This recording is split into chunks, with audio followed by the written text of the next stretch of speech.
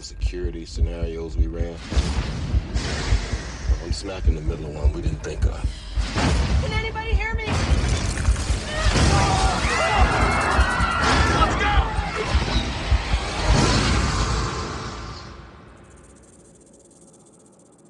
Shh. Did you guys hear that?